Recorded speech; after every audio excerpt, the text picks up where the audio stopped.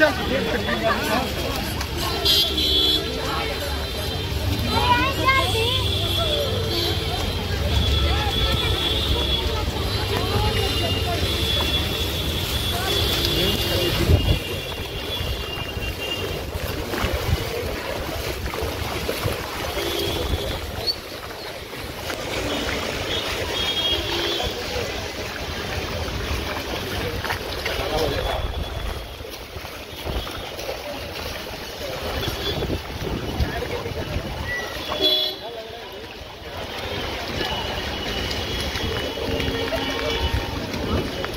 पाँच मिनट में ही पूरा पानी पानी हो गया पटना।